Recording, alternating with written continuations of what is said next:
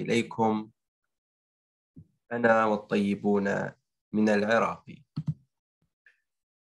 أهلا ومرحبا بكم جميعا في هذه الجلسة الاستثنائية آه، للقطاع 20 آه، محدثكم مدير ال Zoom Toastmaster مجاهد عبد الجبار القيسي من نادي المربد في العراق وهو ناد انضم مؤخرا إلى القطاع 20 وهو قيد التأسيس. مهمتي لهذا اليوم هي إدارة قاعة البث الافتراضي عن طريق منصة الزوم. ملاحظتان مهمتان أتمنى من الجميع الالتزام بهما. الأولى لاقط الصوت أتمنى أن يكون مغلقا عند الجميع وأنا سأحاول أن أحافظ على هدوء الغرفة. هذه المعلومة الأولى والملاحظة الأولى. الملاحظة الثانية بخصوص مداخلات الحضور وأسئلتهم. في نهاية كل ورشة إن شاء الله سيكون هناك وقت للأسئلة والاستفسارات حول الورشتين اللتان ستقدمان في مجال التسويق. أما الآن أعزائي أسلم المنصة إلى عريف جلستنا وقبل أن يستلم اسمحوا لي أن أقدمه لكم بشكل مختصر.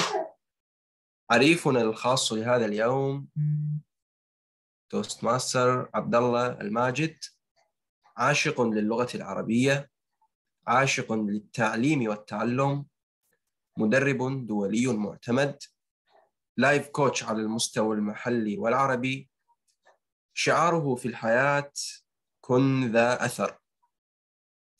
انضم إلى مؤسسة Toastmasters عام 2015 تقلد عدة مناصب على مستوى النادي والمنطقة والقسم. حصل على المركز الثالث في مسابقة تقويم الخطب العربية على مستوى القسم لموسم 2017-2018 كما حصل على المركز الثاني بمسابقة تقويم الخطب العربية على القسم لعام 2020-2021 وهو أيضا تعليمية نادي توست ماسترز الراية والآن ندع المنصة تحت إدارة الأستاذ عبد الله الماجد عريف جلستنا. فليتفضل.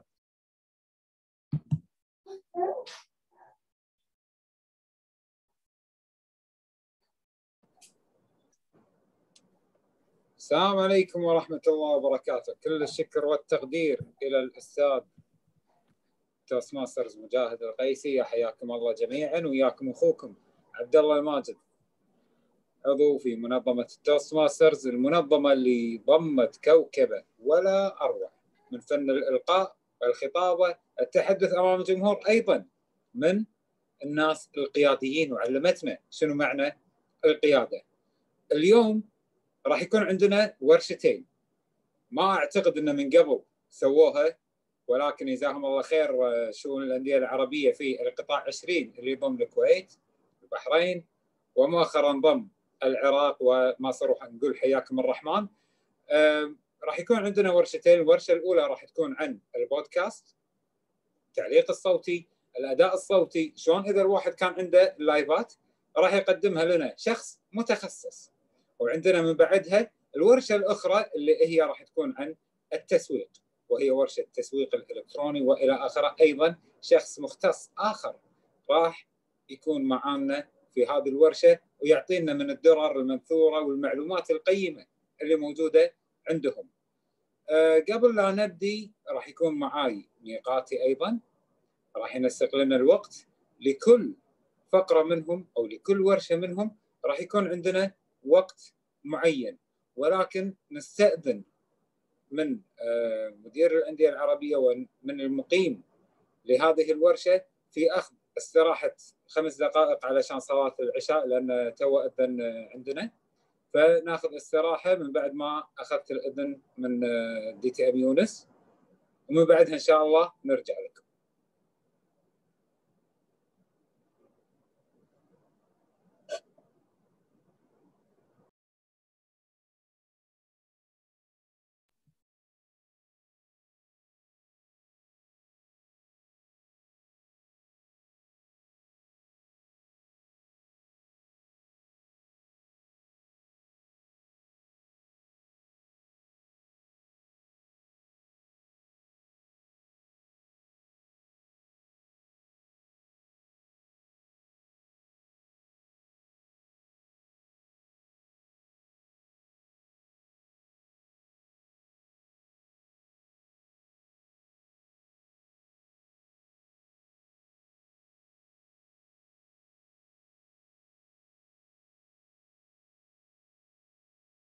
التسويق عبر الانت... عبر البريد الإلكتروني. هو استراتيجية. استراتيجية فعالة من استراتيجيات التسويق لأن في استراتيجيات كثيرة بس اليوم إحنا راح نركز على التسويق عبر البريد الإلكتروني. الهدف منها أن إحنا نرسل نرسل محتوى إلى ضيوف محتملين ونحاول أن نجذبهم يكونون أعضاء ويانا في النادي شنو أهميته؟ أول شيء إنه هو أكثر تاثيرا. أقل تكلفة. يمكن الكل يقول okay بنقدر نسوي تسويق عبر الإنستغرام أو حتى على الفيسبوك. بس دائما إذا إحنا بنسوي تسويق راح يكون مثل sponsor ولازم ندفع عليه مبلغ. لكن التسويق عبر البريد الإلكتروني في معظم الأوقات أو نقدر نقول إلى حد معين بيكون مجاني. شخصي وقابل للتخصيص. نقدر نحدد اسم الشخص المنصب وأكثر من آه، شغلة. التأثير الموجه يكون موجه حق شخص معين قابل للقياس لأن بنقدر نقيس هل هم شنو ردة فعلهم هل هم فتحوا الإيميل أو لا أو حتى هم سجلوا إلى هالفعالية أو لا. وأكيد سهولة الوصول الكل يقدر يفتح الإيميل من أي جهاز. مثل ما نشوف هني إحصائيات إحصائية واحدة تراوينا شلون عدد المستخدمين قاعد يزيد وفي احتمالية أنه يزيد بعد في حتى السنوات القادمة. فالتركيز الأكبر قاعد يصير في التسويق اللي هو التسويق عبر البريد الإلكتروني. تمام. نبدأ شوي في أهداف محددة بوضوح. قبل ما نرسل أي إيميل المفروض أن إحنا نحدد هدفنا شو الهدف؟ هل الهدف زيادة عدد الأعضاء في النادي؟ هل الهدف نشر الوعي عن مثلا بأهمية الخطابة؟ نشر الوعي بأهمية تنمية مهارات التواصل التواصل اللي هي تهدف إليها منظمة توست العالمية أو أن إحنا نسوق فعالية معينة. فأول شغلة لازم ننتبه لها أن إحنا نحدد الهدف بوضوح. شو الهدف من وراء الإيميل أو من وراء البريد الإلكتروني اللي راح نبعثه.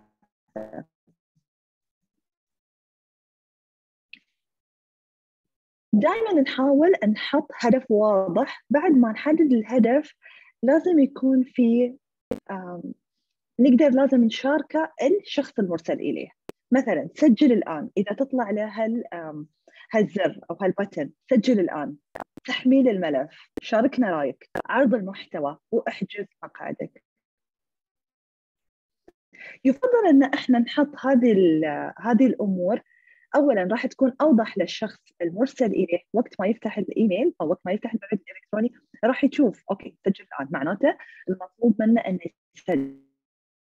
في فعاليه معينة، المطلوب منه أنه يحمل الملف، مطلوب منه أنه يشارك أو يعرض المحتوى أو يحجز مقعده في فعالية معينة. وقبل ما ننسى لازم نذكركم أن أهم نقطة أن إحنا نحدد عنوان جذاب للبريد الإلكتروني، ما حد راح يفتح العنوان إذا ما كان ما حد راح يفتح الإيميل عفوا إذا ما كان عنوان. أو مو عارفين الشخص المرسل إليه، يمكن الشخص المرسل. إذا عرف إذا ما عرفنا الشخص المرسل على الأقل بيكون عنوان جذاب يجذبنا إنه لازم أشوف شنو داخل الإيميل، لازم أفتح الإيميل. فما ما لازم إن إحنا نحط أو نبعث بريد إلكتروني من غير عنوان.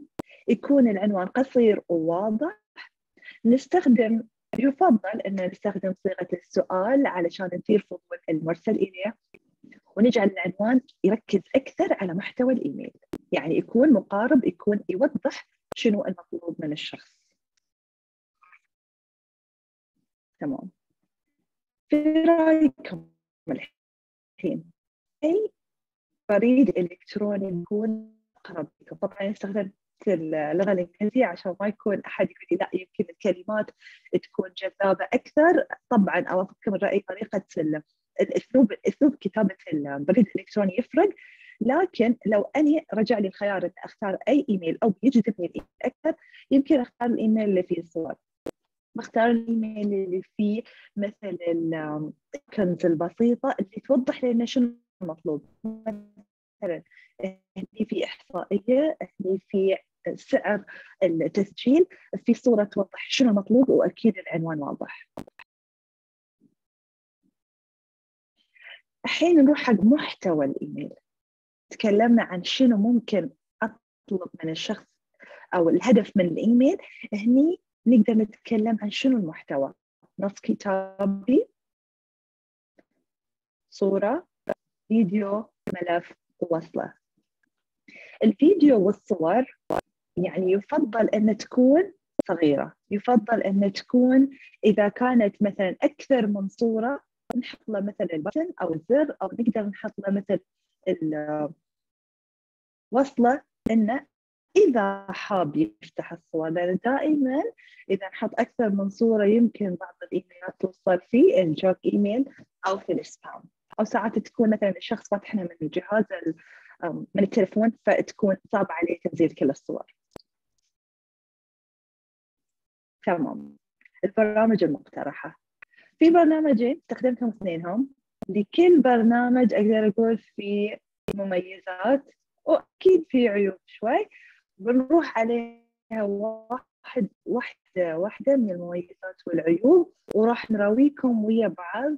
راح نشتغل ويا بعض شلون نحن نقدر نسوي نستخدم ال mail ونستخدم ال Gmail في طريقة ال mail merge أو نحن نطرش بريد إلكتروني شخصي لكل شخص لكل فرد لكل Toastmasters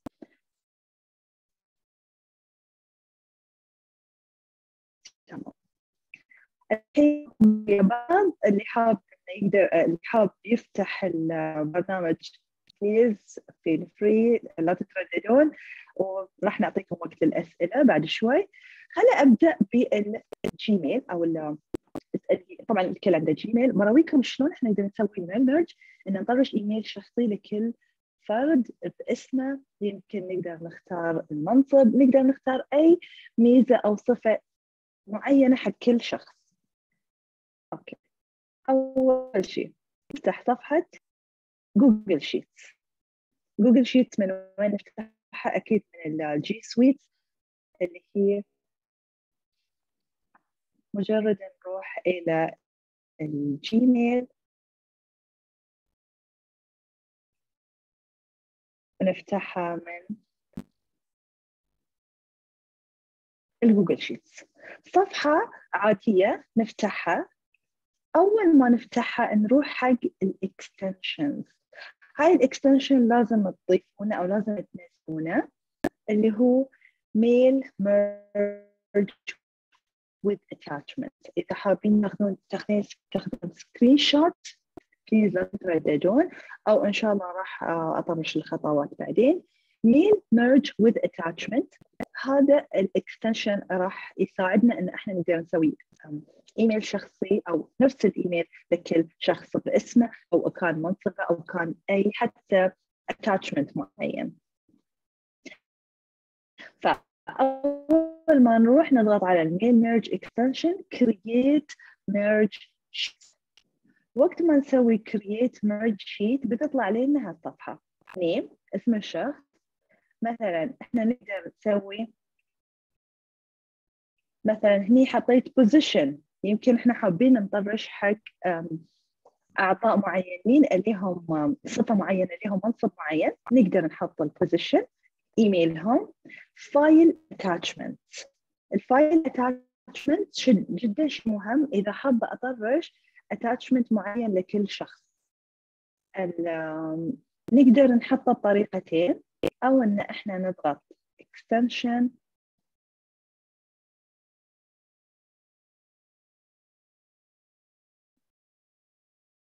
Attachment. Add file attachment. نقدر نحطه من Google Drive أو من الكمبيوتر نفسه نسوي upload أو ال list of files حطيناها في Google Drive folder نقدر نطرش لهم ال folder كامل. ففي ثلاث مثلا إذا حبينا نروح على from computer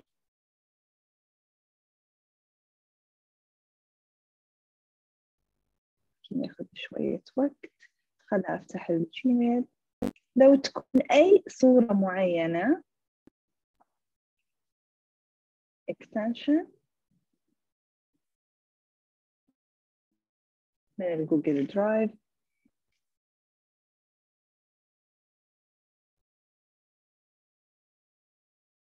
أهم شيء يكون عندنا ال link أو الوصلة تبع هال file مثلا بختار آه، file معين مثلا ال mail merge بسوي له select وراح ينضاف لي ال link.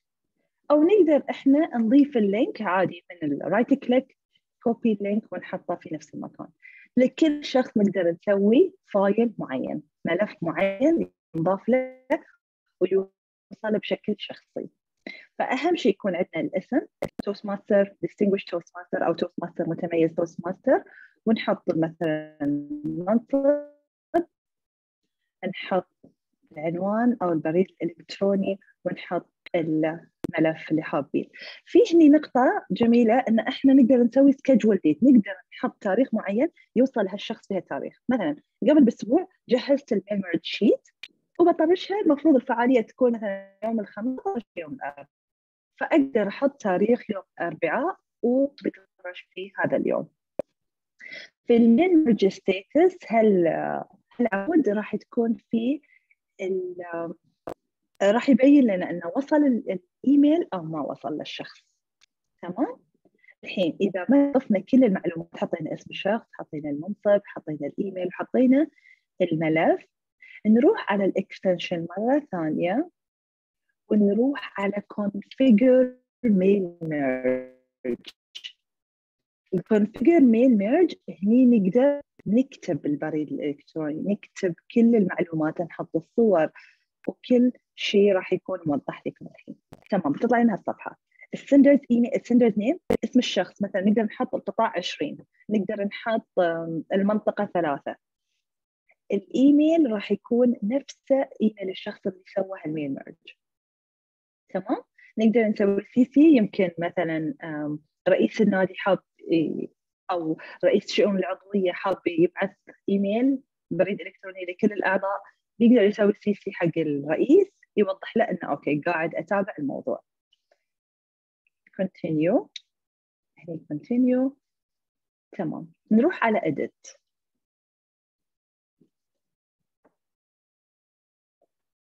نقدر نكتب كل التفاصيل. مثلا أنا خذيت هال هاي الكلام موجود في نفس البرودكاست اللي وصل للكل فحبيت إن نراويكم انه شلون نقدر نحطه. مثلا العنوان ورشة خاصة للتسويق مثل ما كانت مكتوبه بطريقة ما هي ال Toastmaster المتميز ونحط اسمه. خلينا نكتبها مرة ثانية. ال Toastmaster كتابة عادية لكن إذا رحنا insert merge field بتطلع لنا كل الأعمدة أو كل النقاط اللي إحنا ضفناها في ال sheet الاسم مهم علشان توصل لكل شخص بصورة بصفة شخصية. اسمه حطينا الكلام اللي مطلوب. مثلا هني نحط رابط رابط التسجيل. الكل عادة ياخذ copy paste ويحطه. نسخ نسخ. لكن في طريقة حليوة بس يمكن نقدر نقول مو الكل راح ينتبه لها إذا حطيناها بهالطريقة. إذا ضفنا الإيميل مثلا نكتب رابط. رابط التسجيل. نظلل ونروح على ال link ونسوي copy حق هال link. فراح يطلع لهم بهالطريقة. فبيكون أفضل وبشكل مرتب أكثر. تمام حب حابين نحط مثلا المنصب آه نقدر نحطه بهالطريقة ال position فمثلا ال Toastmaster زهراء رئيس النادي. نقدر نغير بعد في بعض النقاط اللي هي سواء كان لون الخط إذا كنا حابين نحط ترقيم حابين نحط نقاط نوع الخط أو نقدر نقول ال heading ال format المعينة. طبعا راح يكون عندنا الخيار إن إحنا نضبطه بطريقه أو نلاعب في الألوان وفي الفورمات في تصميم الإيميل بشكل نقدر نقول كبير بعد اتاكد إحنا ضفنا كل المعلومات. وأكيد نقدر نضيف صورة.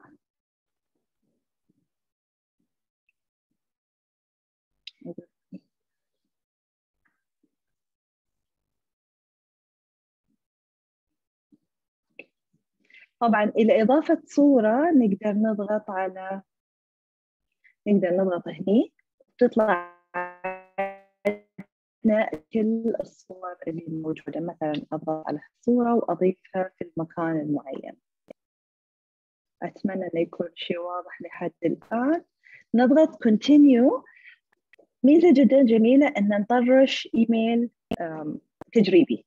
نجرب. هل عجبنا تصميم الإيميل بشكل مرتب؟ هل في كل نقاط؟ يمكن نبعثها حق شخص ثاني يذكرنا هل النقاط كلها منضافه هل النقاط كلها واضحة؟ في بعض الأمور يمكن لها تعديل وبعدين نرجع نعدلها مرة ثانية وأكيد ما ننسى نضغط إلى run mail merge. وقت ما نضغط run الميل merge راح ينبعث إلى كل الأشخاص. أهم نقطة. لكل يوم 25 إيميل مجاني. هاي الميزة نقدر نستخدمها في نطاق النادي يمكن نطاق المنطقة أكثر لكن وقت ما نوصل إلى القطاع أو القسم أحس أنه يفضل أن إحنا نزيد عدد الأشخاص اللي المفروض يوصل لهم الإيميل. طبعا راح يكون مدفوع. بس ال 25 إيميل راح يكونون مجاني. 25 إيميل مجاني راح ينبعث. تمام؟ الحين خلصنا من ال mail merge. بروح عليه سريع بروح براويكم شلون بعد نروح على ال Mailchimp أول ما نفتح ال Mailchimp هاي الصفحة الرئيسية. create وقت ما إحنا بنسوي نموذج جديد. من اللي راح يستقبل هالبريد الإلكتروني؟ نحط كل الأشخاص في list في ال Google Sheet أو كانت ال Microsoft Excel. ال campaigns كل النماذج اللي إحنا طرشناها والإيميلات اللي طرشناها سابقا راح تكون موجودة. مثلا نروح هني نشوف أكثر من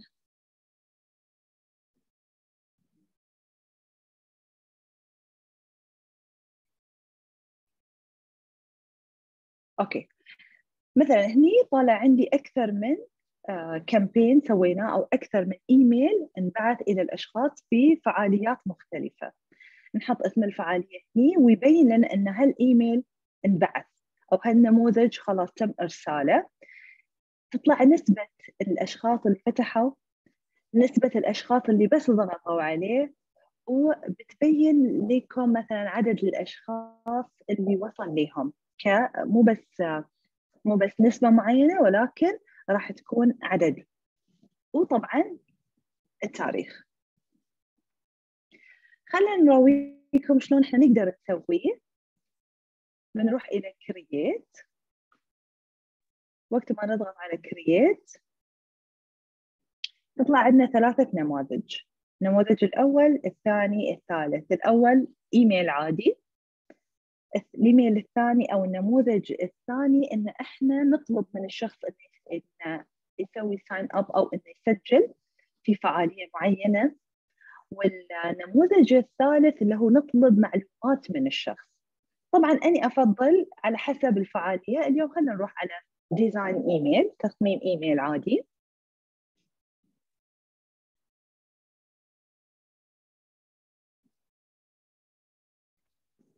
بتطلع هالصفحة. أول شيء نقدر نعدل الاسم. مثلا نكتب ورشة التسويق.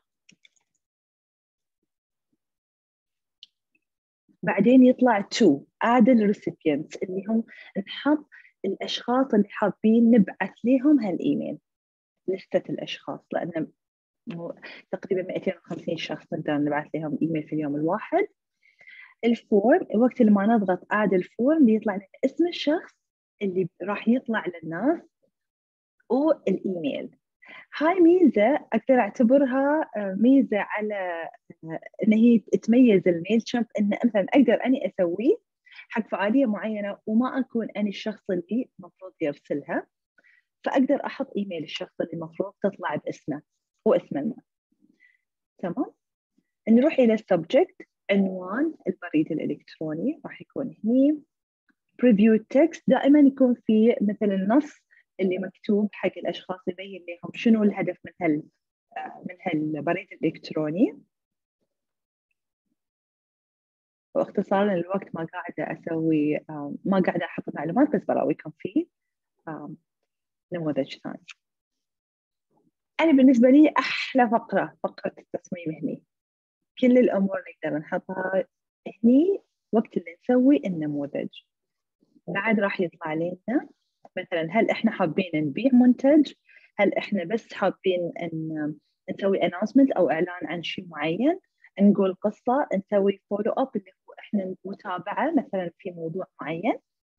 أو حابين بس نعرف الناس على educate تعليم الناس في شغلة معينة. خلينا نروح مثلا make an announcement إعلان أوكي تمام خلي أراويكم شنو ممكن يكون اختصارا للوقت شنو ممكن يكون شكل النموذج. Edit design.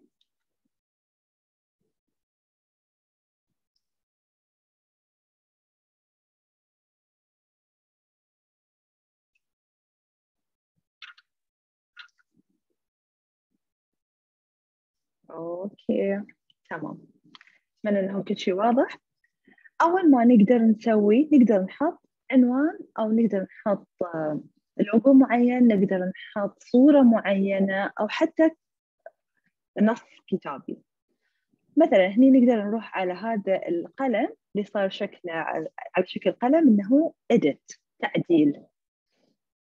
فأول نقطة replace. نغير الصورة مثلا أو نعدل على الصورة أو نحط وصلة هذه ال options أو هذه الأمور اللي نحب أو نشجعكم إن تضغطون عليها وقت اللي تحبون طبعا. إذا حطينا replace نقدر نحط الصورة اللي حابينها. الصور يفضل إن نسويها upload نرفعها قبل ما نسوي أي قبل ما نبدأ في أي نموذج. مثلا هني تشوفون هذين الصورتين اللي راح نحتاجهم. مرفعين وموجودين. نختارها ونحطها insert أو إضافة. طبعا ما راح تشوفون التغيير لأن الصورة موجودة. نقدر نصغر الصورة. يمكن لأنه هو بس مجرد شعار فما له داعي يكون كبير. نقدر نصغره. نروح على ال style يقول لنا هل حابين إنه يكون عليه إطار أو لا؟ يمكن إي حابين يكون عليه إطار.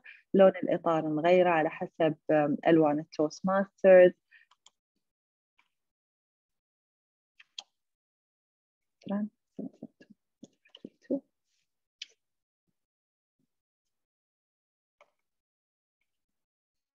okay فمثلا هاللون.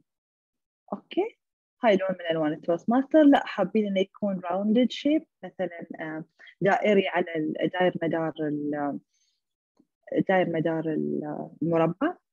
مثل ما نشوف هني يبين لنا. بيكون على إطار الشعار. بعد في نقاط ثانية. حابين نحط كلام. نقدر نعدل الكلام.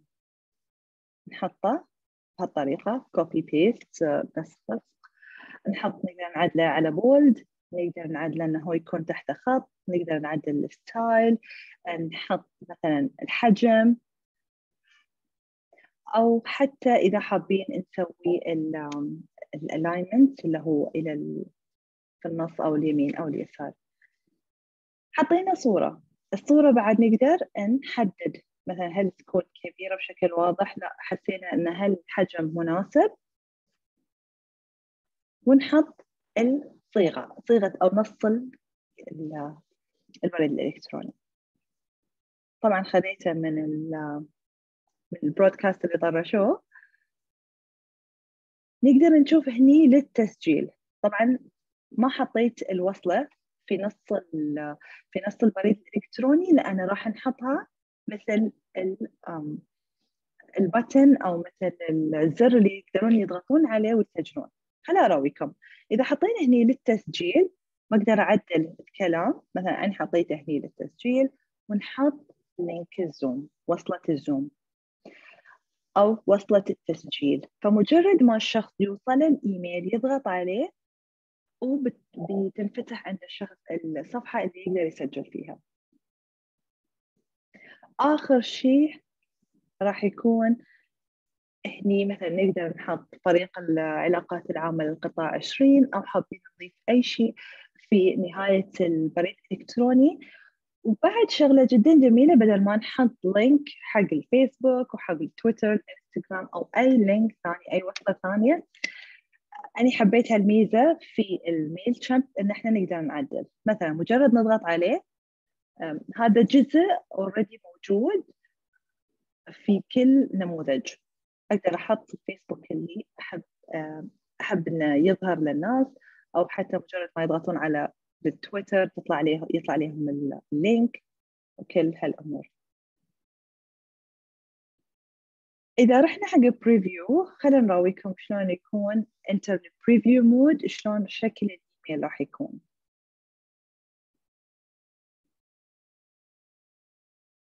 بهالطريقة راح يوصل لكل شخص من ال من ال القائمة اللي إحنا already سويناها. تمام؟ Okay بما ان الحين اصفر خلي أقول لكم بعض المميزات والعيوب اللي في كل المميزات والعيوب اللي في كل نوع من الأنواع. أول نوع نقدر نقول ال Mailchimp عدد أكبر مقارنة بال mail merge نقدر نحط أو نقدر نرتب النموذج بالطريقة اللي نحبها. نقدر نحط فيه الزر أو ال button بشكل واضح يبين الناس شنو الهدف من الإيميل. وفي بعد طريقة أو أو الميزة الرابعة إنه يوصل للناس بطريقة جدا مرتبة. فمقارنة بال mail merge ال mail merge ما راح يوصل للناس في ال junk ولا حتى في ال spam لأن في ال Mailchimp احتمال أنه يوصل لهم في ال spam. وشغلة ثانية في ال mail merge تكون آه، طريقة العرض إلى الناس كلها راح راح تكون سهلة لهم سهلة طريقة العرض وما راح تكون ثقيلة وقت التحميل لأن نقدر نحط أكثر من صورة في ال Mailchimp لكن في الميل ميرج راح هاي المميزات والعيوب لكل برنامج فيها والخيار راجع لكم يعتمد على نوع الفعالية يعتمد على شنو حابين تقدمون للناس وأكيد أكيد التجربة هي اللي بتخليكم تحددون أي نوع حابين تستخدمون. أتمنى أن كل شيء كان واضح وأي سؤال أتوقع الكل عارفني لا تترددون نطرشوني على الخاص أن أشوف اللون. تمام؟ عودة إليك الريف الفعال كل الشكر والتقدير إلى الأستاذة العزيزة دي تي إم زهراء أبدعتي وصراحة استفدنا واستمتعنا في المعلومات الجميلة اللي موجودة الله يعطيك الصحة والعافية. حاليا خلصنا من طريقة التسويق الإلكتروني. خلونا ننتقل حق ورشة أخرى. ورشة تفيدنا إحنا كمحاضرين في Toastmasters أو كأعضاء Toastmasters عن البودكاست. شنو هو البودكاست؟ شنو معنات البودكاست؟ التعليق الصوتي، الأداء الصوتي، النبرات مالت الصوت، الناس اللي تفتح اللايفات. الورشة هذه راح تفيدكم جدا جدا جدا سواء في حياة Toastmasters أو خارج ال Toastmasters. راح يقدمها لنا شخصية جميلة جدا جدا جدا. الشخصيه هذه انضمت إلى منظمة Toastmasters العالمية في عام 2017 حصل على المركز الأول في مسابقة القسم في مسابقة الخطب المرحة لموسم 2018 2019 عاشق للصوتيات والأداء الصوتي إنتاج الصوت وصار يعمل في هذا المجال منذ 18 سنة. وما زال مستمر عطاء تبارك الرحمن في هذا المجال. وهو أمين المراسم لنادي Toastmasters الراية. انضم إلى عدة أندية. رحبوا معي في ال Toastmasters أخوي عبد الرحمن بوفتين. ولكن قبل لا نسلمك المنصة الإلكترونية أيضا نسأل العزيزة ميقاتينا عن تقرير الوقت حق أخوي عبد الرحمن.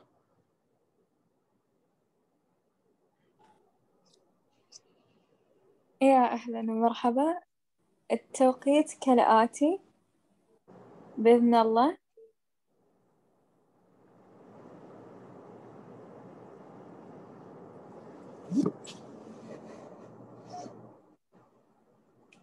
الدقيقة ثلاثين اللون الأخضر والدقيقة الخمسة وثلاثين اللون الأصفر والدقيقة أربعين اللون الأحمر.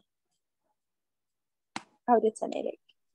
كل الشكر والتقدير إلى ميقاتنا العزيز حاليا. نسلم المنصة إلى شخص نقدر نقول عنه. معلق صوتي ممثل صوتي مقلد أصوات صاحب ورشة البودكاست Toastmasters عبد الرحمن بوفتين إليك ناقل الصوت. السلام عليكم ورحمة الله وبركاته. أهلا وسهلا بكم جميعا. شكرا عريف الاجتماع. شكرا إليكم الحضور الكريم. يعطيكم العافية. بس خلنا نضبط شوف يا ليت إذا تسمحون بس مسوين share screen عدل.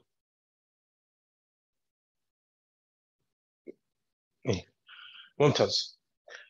قبل ما أبدي الورشة قبل ما أبدي أي شيء أبي أفهمكم شيء رئيسي.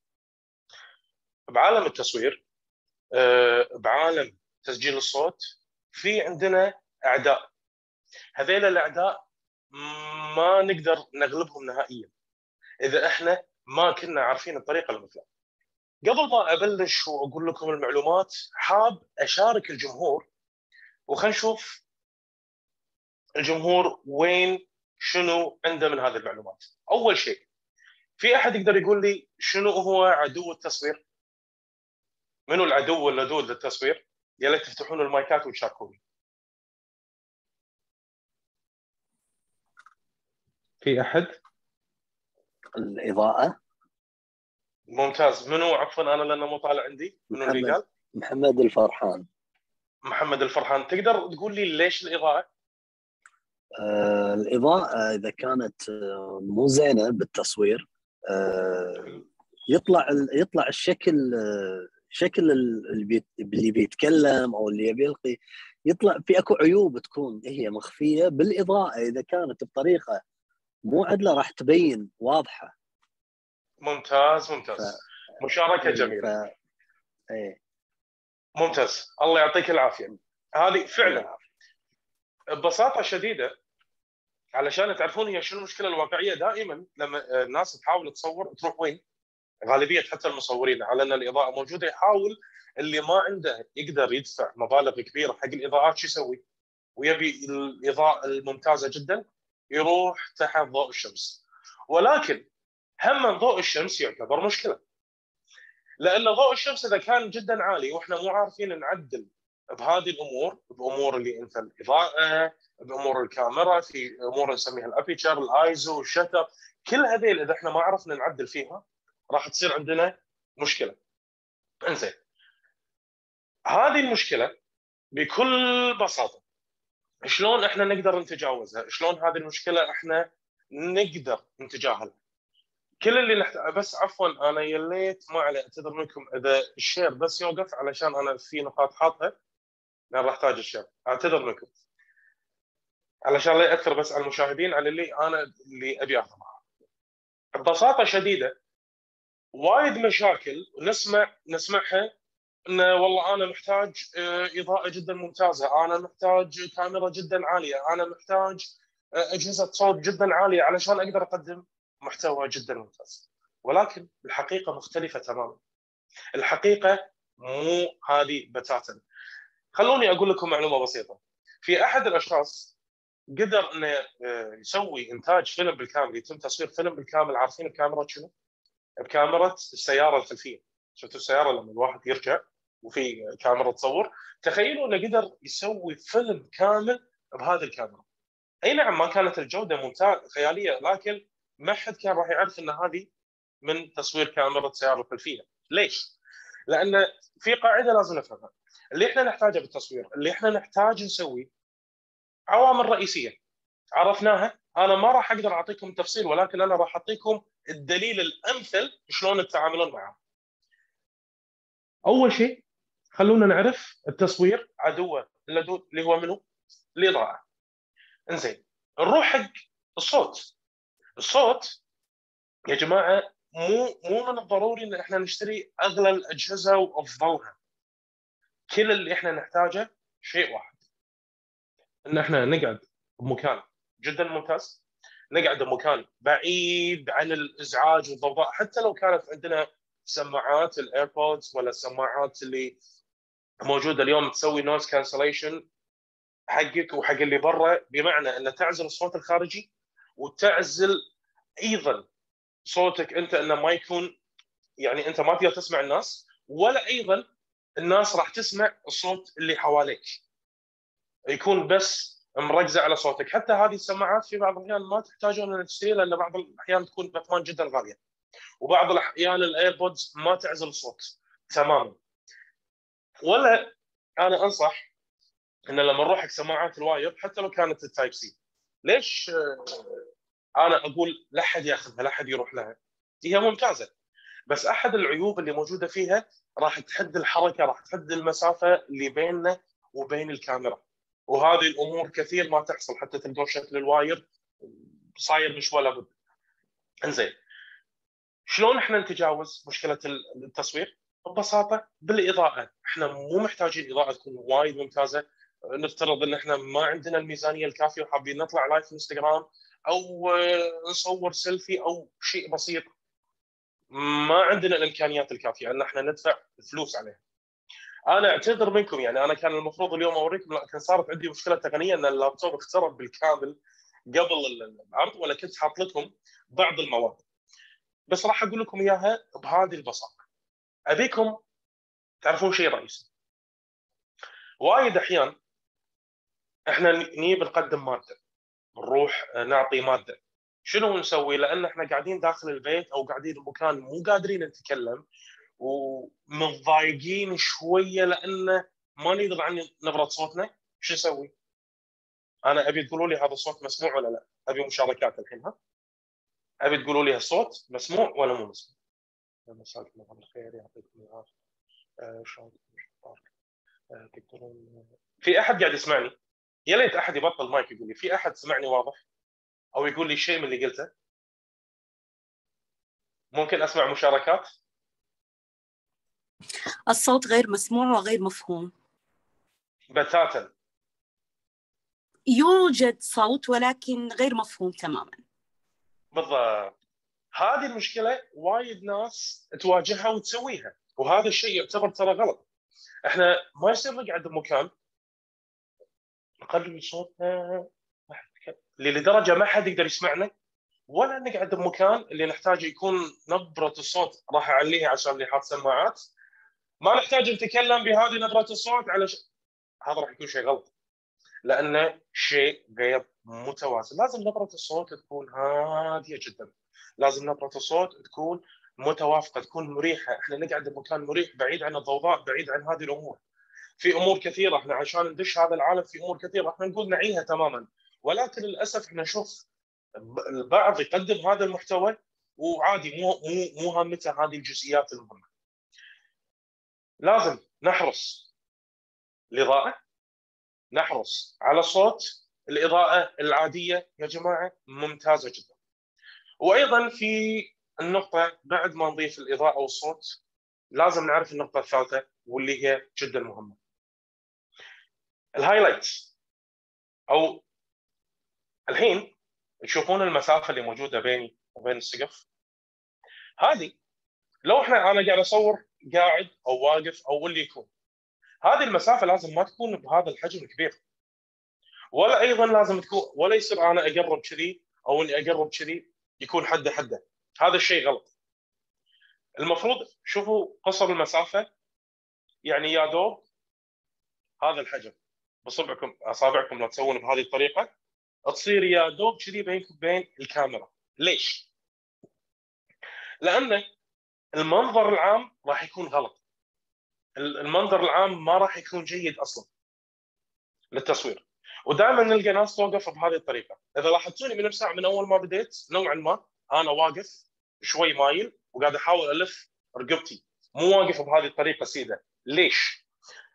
هذه الطريقة أفضل شكليا أفضل حق تقديم المحتوى. اللي راح تزيدونه على ذلك إحنا بال Toastmasters مو عندنا إيماءات الوجه. والتعابير وحركة الوجه. خلوني أقول لكم شيء موجود بالإعلام تعاملنا مع الكاميرا. مع الكاميرا لمس الوجه لتقديم أي محتوى يعتبر من المحرمات. ليش؟ تخيلوا لو أنا قاعد أشرح وقاعد أسوي كذي أقول وايد كبيرة وايد وايد صغيرة وما قاعد أحط أي معايير حق الصورة. ما قاعد أحط أي معايير حق الكاميرا. وجهي ما قاعد يكون واضح. هذه كلها تسبب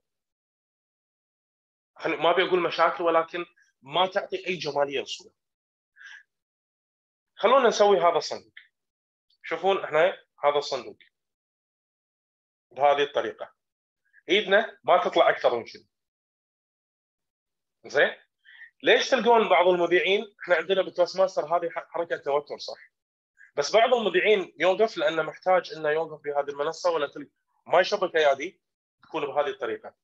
اليوم راح نتكلم عن مواضيع راح نتكلم تلقونه يتكلم بهذه الطريقة يحاول يعبر بهذه الطريقة. ما تكون حركة الإيد عشوائية ولا تكون بالحجم الكبير أنه يتكلم بهذا الشكل.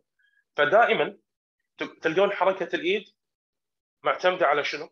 على محيط معين على محيط الكاميرا. بحيث إنه ما تطلع كثر ما يدرون ما تطلع برا frame الكاميرا سواء كنا قاعد نصور بالطول أو كنا قاعد نصور بالعرض. شنو ما يكون إحنا محدودين يكون داخل ال frame. لازم نتبع هذه الشروط إي أحد يسألني يقول إنزين إذا كانت إيدي بهذه الطريقة ما هي مو مبينة تحت. هذه لا بأس فيها.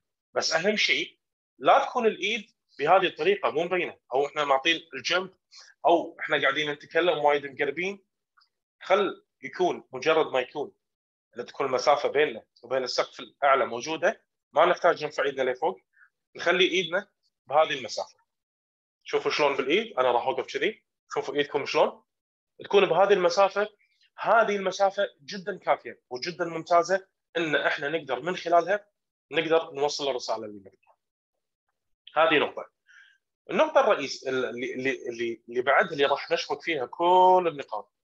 لكن قبل ما أوصل حق هذه النقطة هل كل شيء واضح إلى الآن قلته؟ هل كل ما قلته مفهوم ولا في استفسار؟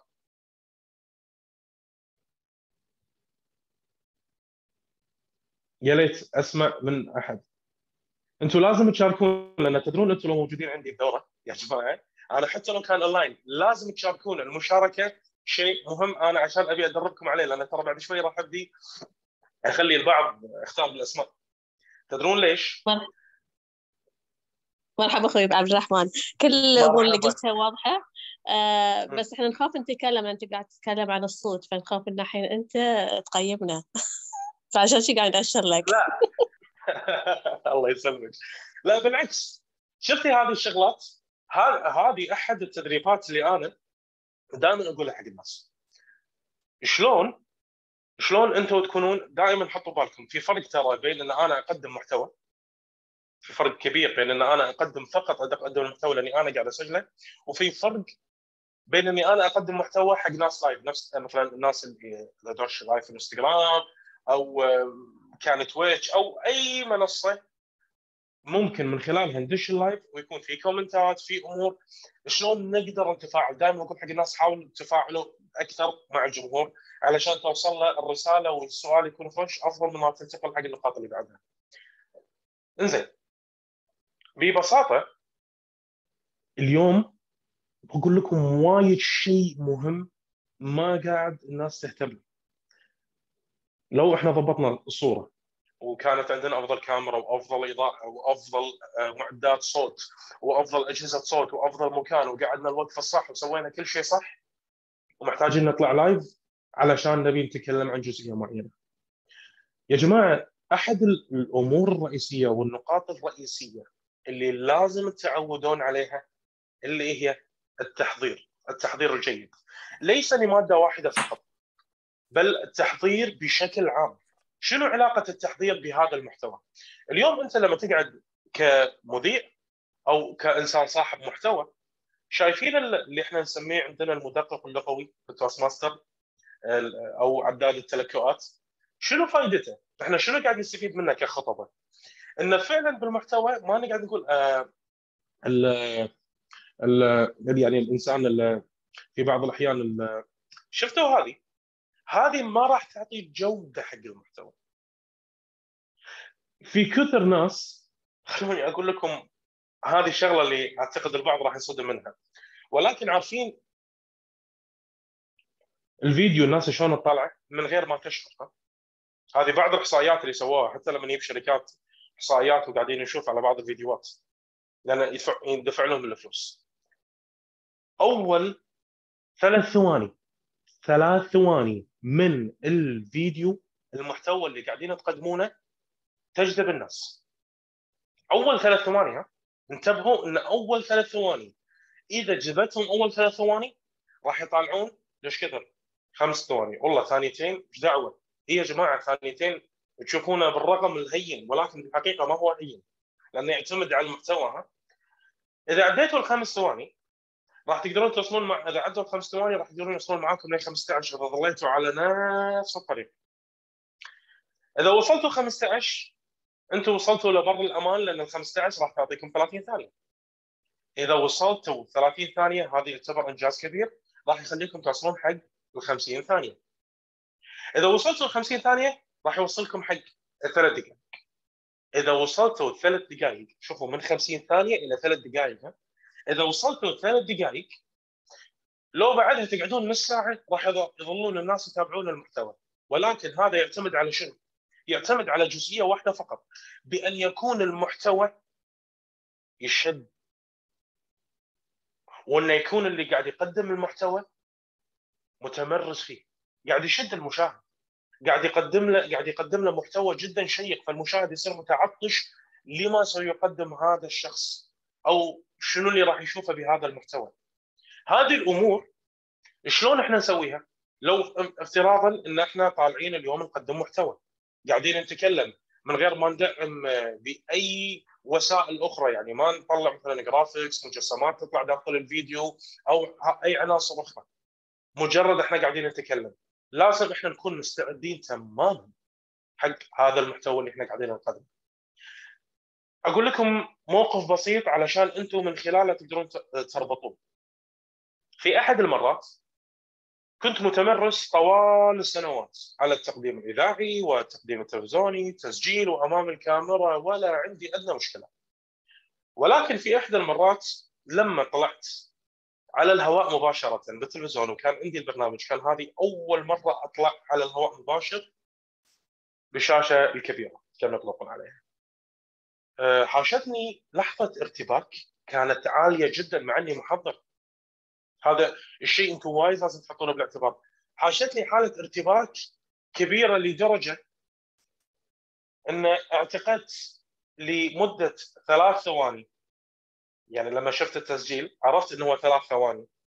إني خلاص ما راح أقدر أكمل.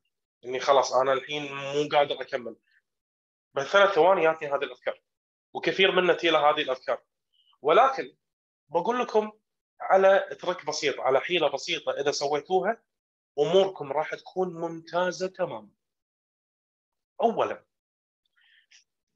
لا تحاولون تركزون وايد بطريقة تقديمكم.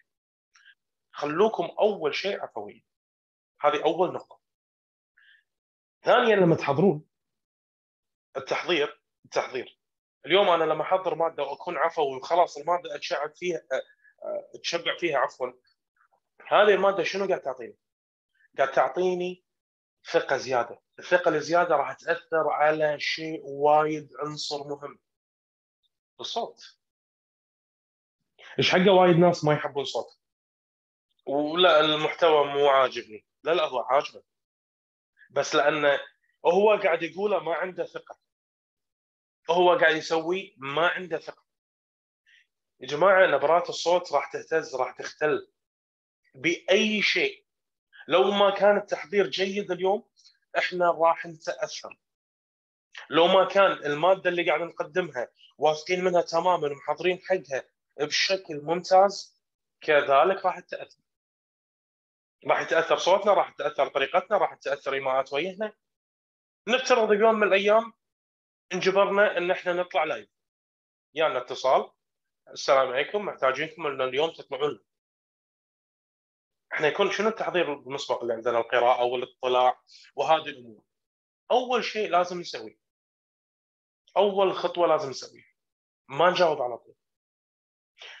هذه أنا أتكلم كإنستغرام مثلا أو live Twitch أو live YouTube بغض النظر أو حتى على الشاشة الكبيرة تلفزيون لازم أول شيء علشان أنتم تكونوا مرتاحين بتقديم المحتوى لازم شنو تسوون؟ تاخذون نسب علاقة النسب بتقديمكم أمر جدا جدا جدا جدا جدا جدا جدا مهم. لازم تعرفون أنتم شلون تتحكمون بالنسب وفي شيء وايد مهم أبيكم تعرفونه. دائما تسمعون شخص ياخذ النسب بهالطريقه صح؟ وتعتقدون إنه هو شيء هو شيء ما هو صح ولا هو غلط. ولكن أنتم لما تكونون قاعدين واحيانا تحتاجون إن تاخذه بالنسب العادي لأن أنتم قاعد تتكلمون وهذا أمر طبيعي لأن حتى بعض الأحيان المغنيين يأخذون النسب بهذه الطريقة في طرق عدة إن إحنا نأخذ نسب الخشب. بس هذا الشيء لا يوتركم. لأن اشخاص كثر نواجههم ونقعد معهم نلقاهم هم مو منتبهين حق هذه الطريقة بس بعقلهم الباطن قاعدة توترهم قاعدة تقلل من ادائهم. هذا أحد العوامل الرئيسية. عدم الارتباك التحضير الجيد راح يخلينا إحنا ما نتعب حق هذه الأمور كلها. الارتباك بناء نحتاج تحضير جيد وأيضا إن إحنا نكون مستعدين ونسمع جيد. خلوني أقول لكم شغلة كان المفروض نقدمها. بس تخيلوا ان أنا قاعد أقدم كذي تخيلوا ان أنا قاعد أقدم كذي لازم أرجع جسمي على الأقل لورا. هذه أحد الشغلات اللي جدا مهمة. دائما الجسم لازم يكون مو مو مراجعة كذي لا خلوا الظهر سيدة وحي هذا سواء قعدت أو أنتم قاعد تقدمون علشان تكون مادة مريحة. أنا قاعد كذي نقعد كذي هذه نقاط رئيسية. أنا ما أبي أدش لكم بالتفصيل الأكثر ولكن حطوا بالكم النقاط اللي قلت لكم إياها. إذا حطيتوها بالاعتبار وكانت موجودة عندكم وأيقنتوها تماما كونوا على يقين إن المحتوى راح يطلع عندكم مختلف 200 180 درجات. هذه النقاط. تحطونها وراح تقدمون محتوى جدا رائع. أتمنى إن الكلام اللي أعطيتكم إياه كان مفيد وبهذا أكون حاولت كثر ما أقدر ألخص لكم وأعتذر منكم إن المحتوى شوية لأن أنا كنت محتاج أساندة بالبعض السلايدات ولكن قدر الله ما شاء فعل. أه قبل ما أختم هل أي أحد عنده أي استفسار؟ هل المحتوى اللي أعطيته كان واضح؟ أتمنى من جمهورنا الكريم. لأن إذا ما عندكم تساؤل معناته كلكم فاهمين. وراح أخذ أساميكم وراح أشوف كل واحد شنو يقدم المحتوى. ها. يعطيك العافية أخوي بفتيل. صراحة المحتوى جدا جدا رائع ولكن نحتاج إلى تطبيق. الحين عاد الجماعة إذا ما طبقها وهنا المشكلة. مو هذا التطبيق أنا راح أشوفه. الحين ياخذونها بعين الاعتبار وأعتقد هي أيضا مسجلة. بإمكانكم تأخذونها وتستفيدون ولازم تدونون اللي قلت عليه. ونشوف التطبيق وأنا على يقين إنهم مبدعين وقاعدين ينصتون تماما لما لما قيل. عفوا أستاذ عبد الرحمن لدي سؤال لو سمحت. تفضل. شكرا جزيلا مجاهد لك. القيسي عادل؟ نعم مضبوط شكرا جزيلا لك. تفضل. آه بالنسبة للنفس يعني أحيانا أشخاص يعانون أن نفسهم ضيق يعني هل هناك تمرينات معينة لزيادة النفس الذي يأخذه الإنسان هذه واحدة. اثنان هل يمكن للإنسان إذا لم يكن معلقا صوتيا غالبا المعلقين الصوتيين يمتلكون خامة صوتية معينة يعني. هل يمكن للإنسان أن أن يطور من خامته الصوتية؟ يقوي لا نقول من الأداء ولكن من الخامة الصوتية، الأداء يأتي بالتدريب، ولكن الخامة الصوتية كيف يمكننا أن نعمل على خامتنا الصوتية؟ إذا كان بإمكانك أن تجيبني على هذين السؤالين. بكل تأكيد. شكرا جزيلا. شكرا لك على هذا السؤال ببساطة شديدة راح أجيبك بهالبساطة من من غير تعقيدات. أول شيء الرياضة الرياضة خليك من أنا نسينها بس حقيقة الرياضة المشي هذه الأمور السباحة كل التمارين الرياضيه راح تساعد شنو؟ يكون عندك نسم ممتاز صح؟ هذه راح تعطيك تدريبات. أنت تعرف شلون تتنفس ليش الرياضة؟ شنو شنو علاقتها؟ أنت محتاج لياقة. محتاج إن الرئه تكون ممتلئة صح. السباحة أحد الشغلات المهمة مو بس بالتعليق الصوتي حتى بالتمثيل الصوتي. أحد الشغلات المهمة إن الرئه تكون عندها مقدرة أكبر من التنفس. شلون أنا أقدر أتنفس؟ شلون أقدر آخذ الثلاث أقسام؟ وبالنسبة حق التنفس هذه معلومة بسيطة راح أقول لكم إياها. وتدونونها الكلام اللي بقوله دونوه علشان تتذكرون يفضل قبل أن تقومون بأي أداء صوتي أو إذا عندكم مقابلة قبلها بساعتين لا تأكلون نهائيا. علشان الجسم الرئة ما توزع أكسجين حق المعدة ويكون التنفس والأكسجين موجود كامل بس حق الجسم. قبلها بساعتين ما تأكلون شيء. وقبلها بنص ساعة ما تشربون ماي بتاتا وأثناء ما أنتم تصورون لا يكون في أي مثلا خلينا نقول air condition المكيف أو أي هواء باتجاهكم مباشرة لأن هذه كلها عوامل راح تساعد انه يكون عندك اضطرابات في التنفس مما يسبب اضطراب في الأداء.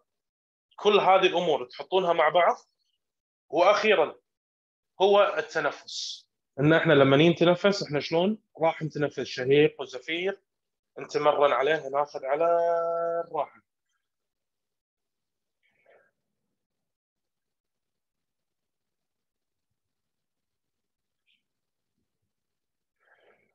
كذي على الراحة نتدرب شيئا فشيئا كل يوم نتدرب حقنا خمس دقائق نقعد وإحنا قاعدين وظهرنا مستقيم هذا راح يساعد ومثل ما قلت أيضا الرياضة راح تساعد.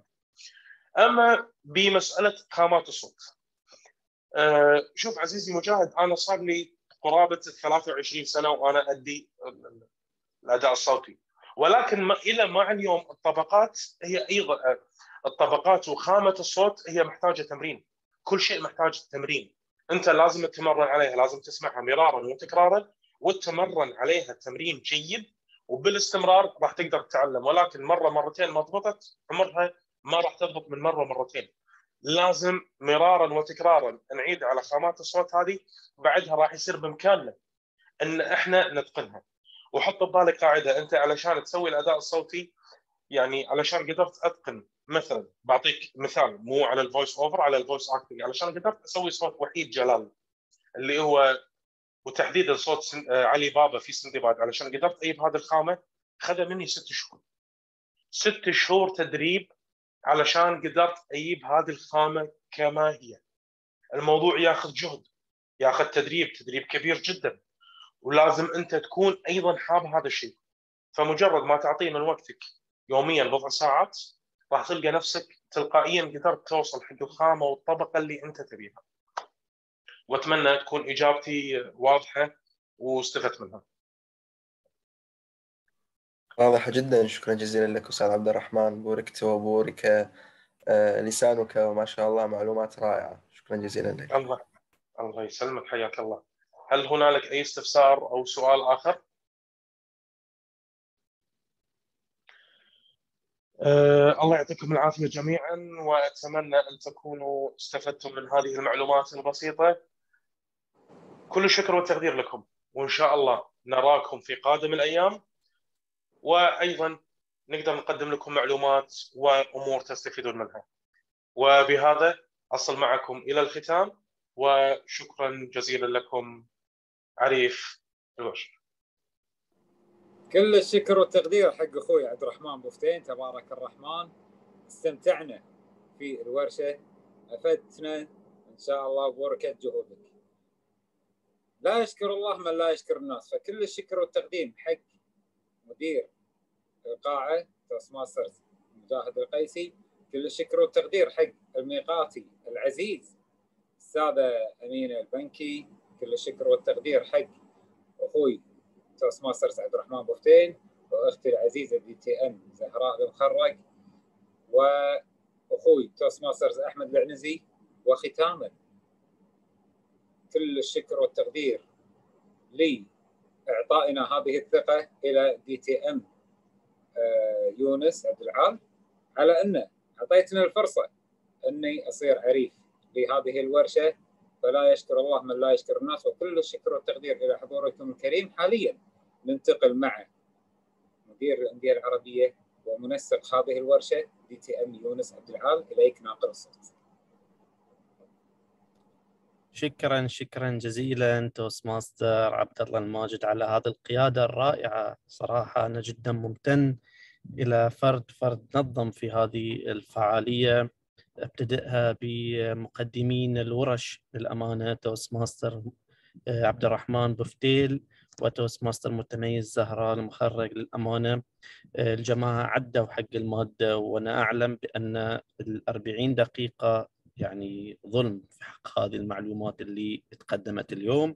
ولكن إحنا حبينا ولو بشكل بسيط إن إحنا نعطي هذه المعلومات إلى أعضاء القطاع 20 واللي يضم أربع دول البحرين الكويت مصر العراق.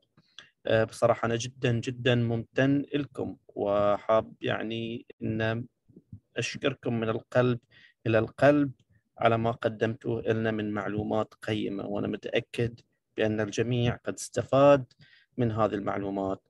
أخوي مجاهد إذا ممكن بس تمرر شهادات الشكر. شكرا لك Toastmaster عبد الرحمن بوفتين. هذه شيء بسيط لك وإلى جهودك اللي قدمتها لنا اليوم على هذه المنصة. Toastmaster متميز زهراء المخرق شكرا لك وإلى جهودك وإلى ما قدمتي لنا Toastmaster عبد الله الماجد القيادي المبدع لفعاليتنا لهذا اليوم. للأمانة أبدعت أبدعت. Toastmaster مجاهد القيسي اللي معنا من بداية الوقت إلى الآن وهو اللي يدير عملية ال Zoom من من من العراق. شكرا لك. طبعا Toastmaster آمنة الميل عفوا على الخطأ هنا Toastmaster آمنة الميل واللي أدارت إلينا الوقت بكل حرفية. شكرا لك Toastmaster أحمد العنزي هذا الجندي المجهول صح التعبير. آه، شكرا لك وعلى آه، جهودك وهو اللي كان آه،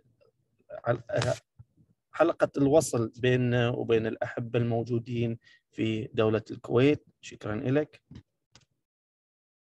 Toastmaster أيضا آمنة الميل. شكرا لك على جهودك وهي من اللي ساهموا في عملية العلاقات العامة ونشر الإعلان وإيصال الرسالة إلى جميع رؤساء الأندية العربية. شكرا لك وإلى جهودك.